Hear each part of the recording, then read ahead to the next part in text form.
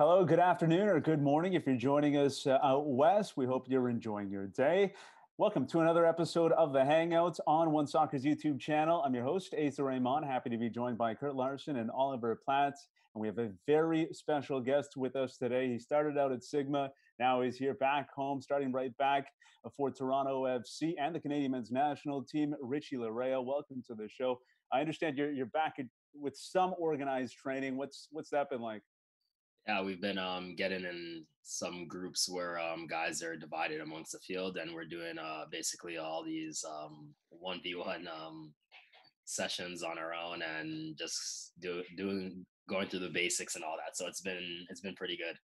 Got two questions from me, uh, Richie. The first one is, you know, as a former player myself, I can only imagine the uh, soreness that you have right now from returning to training after such a long layoff. Has it been painful? Has it been painful at all?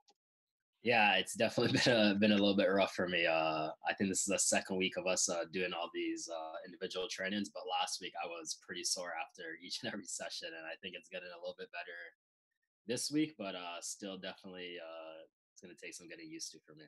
The second question would be there's a Peloton bike over your shoulder. I want to know a little bit about those workouts. I want to know how, how far do you go? Would you recommend it to someone like me who's uh, uh, not done much for the last 10 weeks? You know what? The Peloton's amazing. Uh, I know a few guys in the team have it. We've all been uh, hopping on at the same time and trying to beat each other out. So it's been it's been good. I think it'd be pretty pretty useful for you. I support the girl in the commercial too, by the way. Yeah. So t- go ahead, Ollie. Sorry, yeah, yeah, I was going to dive right into it. Richie, let's just maybe reflect a little bit on the last 18 months because it's been a pretty amazing ride for you. Um, you've gone from obviously the disappointment of, of, being let go by Orlando and, and then coming to TFC, establishing yourself with the national team and, and being a part of that massive win against the US as well. So, what's the last 18 months been like for you? Uh, it's been um whirlwind of emotions. I always say this. it's um obviously first and foremost i'm just so happy to to be back home in toronto it's been a, a, long time coming i think i've been away from college and orlando maybe just about five years plus so it's been a, a long way um a long way out for me but it's been it's been amazing man um i'm so thankful to be playing for such a good organization in toronto fc and then also be part of the canadian men's national team so it's been um a lot of learning for me obviously with a new position and um, new teammates, um, different type of standards here at this club. So it's been um, a, lo- a little bit uh, challenging at times for me, and I've had to really dig deep and uh, find myself um, or find a new version of myself to keep up with uh, whatever life that I have going on right now. So it's been uh, very good, and I like I've actually liked the um, the challenge because obviously it's helped me. Um, I think on the field and but then also um, off the field with my family and all those type of stuff. So I think it's been a really um, good eight, 18 months for for myself personally. Mm-hmm. How many ticket requests are you getting? And is it ch- did it change throughout the year? Yes, um, I get ticket requests from all the way. If we play at seven, I'm still getting them at like 6 p.m. So I'm like doing pre-game stuff, and I look at my phone. Someone's like, "Hey, man, I actually want to bring my girlfriend as well." I'm just like, oh. it's it, it, it, gets a bit much, but I try to uh, help out as many people as I can because I know how much this means to people, so, um, especially close to me to come out and see me play in my hometown. So um, I don't get too annoyed annoyed by all the requests. I try to get as many as I can. Yeah, big highlight at BMO Field as well. That uh, 2 0 win uh, for the men's national team. Uh, what, what will you remember from that moment in that game in particular? Yeah, I think uh, the biggest thing for me was just um, a change of momentum for the group. I think it was even before that. I think at the Gold Cup, obviously, an unfortunate way to exit after I know they're up 2 0, but um, I think you've seen the momentum change from there just in the players that the group has. It's um, a very, very talented uh, Canadian national team group. And I'm, I'm not just saying this because I'm within the group right now, but I think it will, or as of right now, is up there with uh, one of the best groups for the, the national teams had so far. So just with all the young guys that you have, and then you have a good core group of leaders that are you could say veteran who aren't even that old either. So it's um a pretty young and good group. So I don't know, it's very exciting. And then, um, I, I mean, from that game, I just obviously the score line sticks out because we, it's the first time we had beat them in 34 years, and I think um, I'm sure you, all three of you guys watched it. Anyone else that did could see how um, just how much higher of a level we were playing than them. So it was um, that's what uh, made me the happiest. It could have finished one nothing. I still would have been extremely proud of the group, or it could have been five nothing. But just the way we played, it was so fearless and you know aggressive. We were attacking. It wasn't you know what people say the Canada of old, where we're playing against a good team. Let's sit back and see if we can get one, and then um, dig it out from there. But you saw, you know, this new type of um, influential soccer that John is trying to impose on the national team, and I think that's a game that you saw it in full force because of how good of the players they had on the field, and then also the high quality of players we had on the field as well. So it mm-hmm. shows, you know, it's not um we didn't go up against a mediocre team and um beat them to nothing and it's like okay Canada is on the right path. We played against a very good team and beat them to nothing. Yeah, I think it was positive for that reason because it it gave you guys as a group uh, confidence in knowing that you can compete with the best in CONCACAF uh, and let all the fans know uh, that Canada was capable of getting, you know, such a result, such a big result. However, Richie, as you know, it's not all positive on this show all the time. There was a return leg. It actually was in Orlando, where you used to play, and the game didn't go so well. Um, can you talk about maybe through your eyes what um, was it not finding goals in the moments where maybe you had a chance to score? What, what did you see in that return Like that kind of was that setback that we were hoping to avoid? Yeah i think first and foremost you see how angry and furious they were in the previous results. So they came out um, again i would not necessarily say they were playing amazing football but they were getting into tackles they were letting us know they were there and uh, and things like that. So it was um, from that standpoint they came to fight and i think um, we did as well, which was um, which was good. But I think letting up that goal as quickly as we did kind of killed things and then shifted the momentum for them. And you know, um, I think from then on out, we um, started. Ch- I wouldn't say chasing, but we felt like we needed a goal. Um, our response really quickly when I don't think we now looking back at it, we didn't. We had another 85 minutes to to play, so I think we um, maybe open ourselves up thinking i mean with the players that we have we knew we could we could hurt them and in the attack we could get something back maybe and i think that kind of um exposed us again at times where um we're maybe caught too high up the field and um they're able to capitalize on some uh, mm-hmm. chances I was working the sideline for that first game at BMO Fields. Uh, I also went to Orlando. I was there on the sideline for that match as well. Uh, the one thing that stood out to me in that first game at BMO Fields was the fact that the the pace was so high, it was so intense throughout. Do you feel like you guys matched that in that second match uh, in Orlando?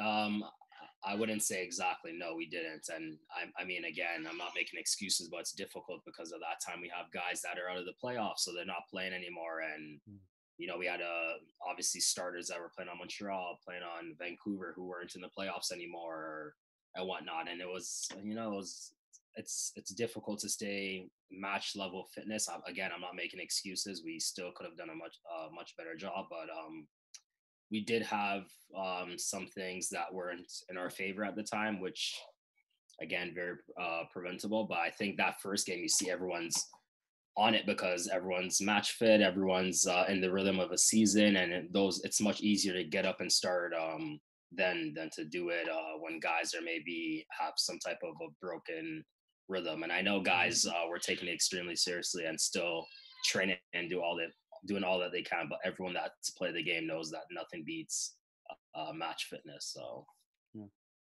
Mm-hmm. Yeah, Richie, I think one of the disappointing things was we we know Canada was chasing points to try and move up to be in a position to be in that top six to, to get into that that hex tournament, you know, for, for a chance at World Cup qualification. And of course, there's still a chance at World Cup qualification. But have you been hearing anything coming out of, of CONCACAF and, and really all around the world that World Cup qualifying might actually change? And that could be a benefit that uh, uh, that benefits Canada. And you guys could be playing the United States in a World Cup qualification process very soon if things go your way.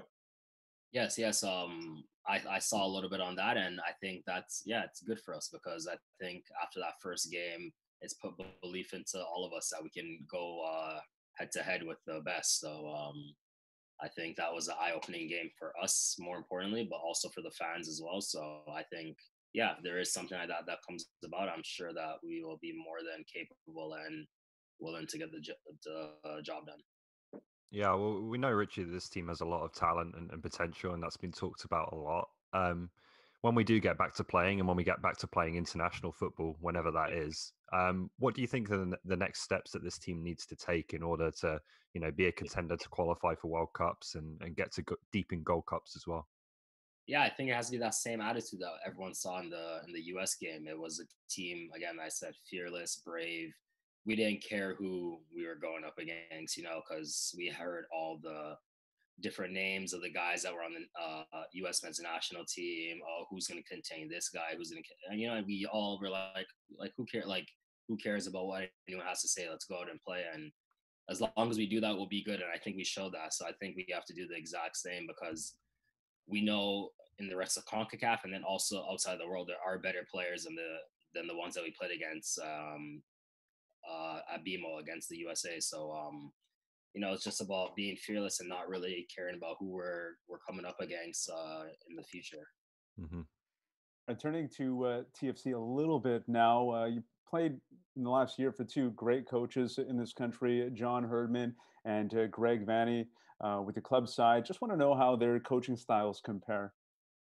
I think they're very comparable because um, both teams are very possession orientated and it's um, a lot of vibrance and you know soccer that people want to come out and see. So uh, I think that's what made my transition very easy from TFC actually to the national team because everything I was doing at fullback for TFC is exact same things John Herdman was asking of his fullbacks at the national team. So it's they're um, they're very comparable in um, a lot of ways in in that sense interested to know a little bit more about your transition from Orlando to uh, to Toronto FC.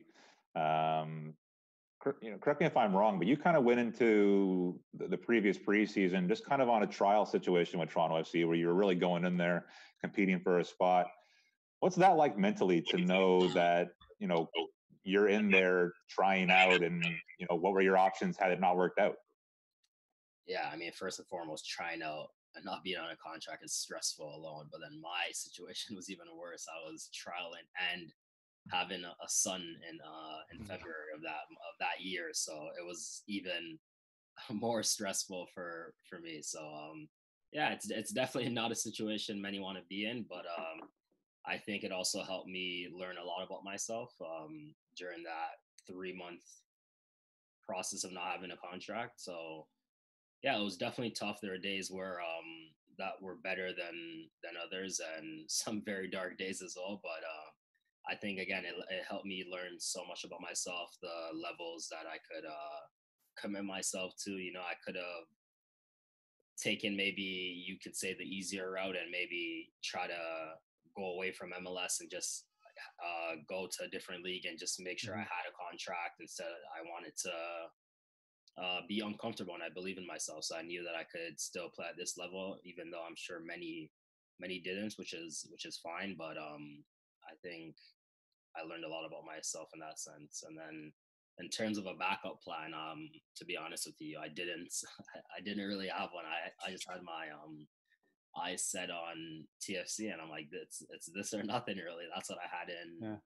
In my head, and I remember my dad actually telling me that he's like, "Don't think of the what ifs, just this is it. You're gonna you're gonna go and you're gonna you're gonna sign a contract with this team. So that's yeah. all all I really had in my head at the time. Yeah, Richie. Speaking of learning new things, that you learned a, a new position with TFC and uh, you've excelled there. But uh, for most of your career, you played through the middle of the park uh, as a defensive midfielder, a central midfielder, even uh, an attacking midfielder. How was that transition moving from the middle of the park out to right back? yeah, it was to be honest. At first, I thought it'd be a lot harder than it ended up being. But again, the way that uh, Greg Vanney wanted to play his right backs, um, where sometimes I'm stepping into midfield, sometimes I'm higher than the midfield, and I'm in a very good attacking position. So it was you know, stuff that I was doing in the midfield. Now that I'm just doing it from a different position, and I'm having to obviously learn a few different things in terms of defensive shape and all that. But it wasn't it, it wasn't as bad as I thought it would uh, it would be uh, learning process wise. Obviously, there I think there's still a whole lot out there for for me to learn about the position still, but so far I think it's been pretty good, and I think with me playing number eight in the in the past kind of correlated pretty nicely into the way Greg Vanney wants to play mm-hmm. and John Herdman want to play their outside backs. Yeah, how does it help having that vision going from the middle to that right back and having that vantage point, being able to see absolutely everything from right back? Do you feel like that's a, a benefit to you? Yeah, I definitely have a lot more time on the ball than yeah. I had when I was at in the center midfield. So that's that's a plus, and I feel like I'm a player that's pretty comfortable on the ball. So it's I think it suits uh, the way I, I want to play, and yeah, it helps me see I have a lot more options on the field, and also I've got uh, through through working with Greg Vanney and his staff, I've got to enjoy the attacking side of it as well, where I find myself in pretty good positions going forward yeah. as well. You came into TFC's camp. Um, were you told that you know, in order to make this club, that we need you to show that you can perform as a right fullback, and and how how big of a challenge has that been for for for your career? And yeah, the first two games I was actually playing in midfield in preseason, and then um, they had an injury at right back. So I remember them looking around, and then Robin Fraser actually came to me, um, and he's like, "Okay, we're gonna need you." I just played 90, but in hmm. preseason you usually do two cut up 90s. So there was, I think, there maybe 45 minutes into the second second game. He's like, "Hey, we're gonna need you to go play 45 minutes." Uh, I was like, "Okay, no problem." And I was getting up. He's like, "Yeah, but you're gonna you're gonna have to play right back." I was like, okay. I, I, I, couldn't say a whole lot. I didn't have a contract. I couldn't say no. So I was like, okay, yeah, I'll, I'll give it a go. I went out there. I thought I did a, a decent job. And then we did film the next day. And I tell the story all the time, but I speak to Robin Fraser till this day. And he's, uh, you know, someone that's uh, really helped me along in my career. And he completely chewed me apart in film after I played right back. He was, what are you doing here? Why are you so wide? Uh, why'd you make this pass? And I was like, wow, I don't know if I want to play this position ever again, ever again. So um, Uh, it's funny. I tell that story all the time about my transition to right back because I remember it so clearly without being on a contract, him just chewing me apart up, chewing me apart in front of everyone on the team. So it was an eye opener for me, I think, and it made me not want to be chewed apart again by a by a coach in front of everyone. So I think that also helped me a lot. Now that you've kind of established yourself in the league, do you see yourself maybe going back to midfield uh, at some point, or you do you kind of see yourself as a right back now? Um, I wouldn't. I definitely wouldn't mind go back into the midfield, but also if I were to play right back for the rest of my career, I wouldn't mind that either because I think I've found to really love the position now, and I thoroughly enjoy it. And I'm someone that likes to take on new things. So as soon as I knew I was signed and this is where I was going to play, I was watching as much film as I could as I could watch um, with coaches. You know, I was watching around the world some of the best right backs to see what they do. You know, just learning new things and then to see for myself where I started in March when I was right back to where I ended uh, in November after the U.S. game. It was. Mm-hmm. It, for me, it was a nice timeline to look back because I saw stuff that I wasn't doing particularly so well in um, maybe April and May, and then now in October, it's like it's second nature to me. So it was um it was it was really nice uh, in that aspect because I could see the growth, and I'm I think I'm a person I really like to see the way I develop um over courses of time. So when I saw where I was in March to where I am today, it was pretty pretty nice and a good feeling for me to have. Mm-hmm. See, there's a lot of evidence out there you know, from across Major League Soccer that having you know a, diverse playing background and being able to play in multiple positions can actually benefit you uh, when it comes to contract talks. Um, you know, given that you kind of had an entry level deal coming to TFC, you know, what's your contract situation now? And have you have you been in talks to to improve your own situation? Yeah, yeah, of course. Um, that we've definitely been in contact, and there's been talks. So we're I know we're trying to get to some sort of agreement and Ali and Bill Manning have been really open with my agent and it's been a good conversation obviously now because of the coronavirus we're a little bit um on hold for everything in life at the moment. But I'm sure once we pick back up, um, hopefully I'm able to strike a new deal with um with the club. You scored a, a massive, massive goal uh, in uh, last year's playoffs against DC. Um, how big of a milestone was that for you, and, and, and just a massive confidence boost to, to not cap the season because you guys went on to, to play an MLS Cup, but just kind of cap what you've what you've been able to do over the last you know 12 to 18 months. Yeah, I mean that week was probably the biggest week of football that I played in my life. I went we that's right before we played against the US and then I think it's 4 days later we played against DC both at BMO. So um yeah, th- that was definitely a moment I'm gonna remember for the rest of my life because you know I've obviously watched TFC growing up, and I've watched TFC closely in 20 once I entered the league, especially. I went to the 2016 and 17 final over at BMO, so I knew how electric uh, BMO is on playoff night. So knowing that was the first time uh, TFC was to play a playoff game since the final in 2017, I just felt it was a really big buzz and around the stadium and the city. So to score that goal was was massive for me, and yeah, it's definitely going to be up there in my milestones for my career as of right now. And then you also went on to make a big impact against NYCFC off the bench as well, winning the penalty. Um, can you maybe take us through a little bit how you prepare to to come off the bench? Are you watching opposition weaknesses? Are you talking to the coaches? How, how do you kind of approach that? Yeah, um, I I think all of us on the bench normally do because Greg is is actually pretty good about it. Where he's also very he's very intrigued and focused on the game, but then he's also relaying information off to guys on the bench. He'll turn around and be like, "Oh, did you see that? Did you see how?" I don't know, for example, how far wide uh, Nico Benezet was on that play should have been tucked in. So it's like now, not for me, but for a winger that's on the bench, it's like okay, like when I go and I know I'm not supposed to be that wide, you know. So it's you know you're con- it's not like we're sitting there, and we're like sitting and enjoying and enjoying and just watching the game.